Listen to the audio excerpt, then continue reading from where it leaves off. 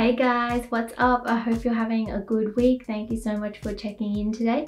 As I promised, I have a vlog for you and it's all about what Le Bon Baker stands for, not only from a literal sense, but also from a brand proposition perspective. So I'm absolutely going to take you through that, but first of all, I really need a cup of tea.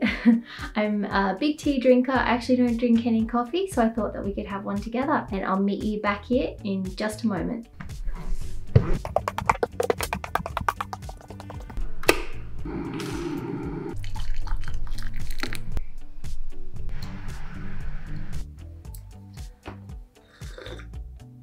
Ah, so good.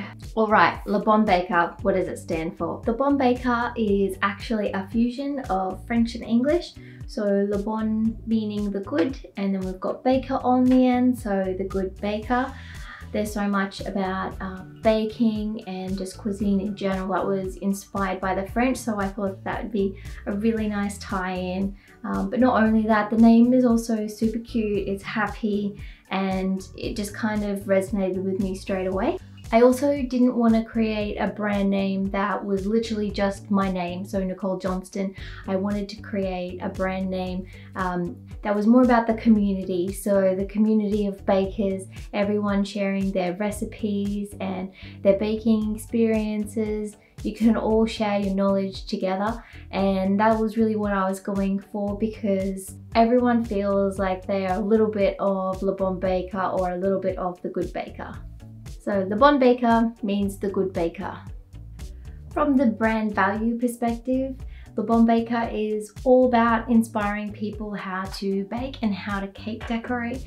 It doesn't matter if you're not an expert baker, that's not what this is about. It's about getting in the kitchen and doing something that you love, whether you're a baking enthusiast or even just someone who's completely fresh and just starting out and wanting to learn how to bake and cake decorate if I can inspire you in some way, shape or form through my recipes or my how-to videos or any of the tips, tricks um, that I put up, then I know that I'm doing a good job.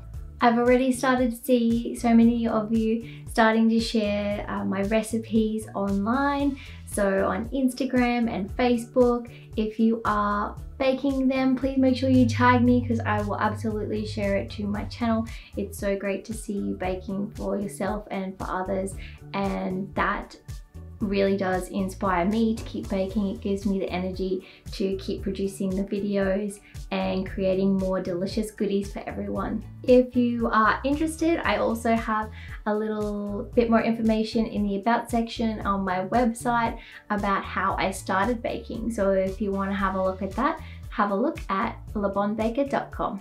Thanks so much for being here with me today and I'll see you again next week.